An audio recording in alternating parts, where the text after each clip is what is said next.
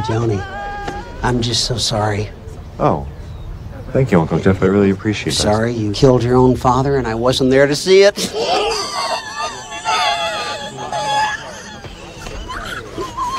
sorry. Uncle Jeff, could you please stop laughing? I can't.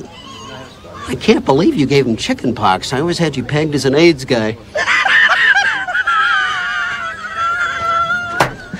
It's not funny, but his laughter is infectious. I can't breathe.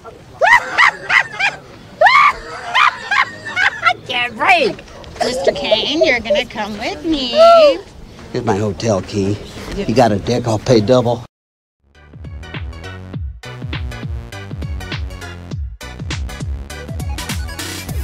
Check out my other channel with TV show reviews, renew and cancel updates click on link below in the description box.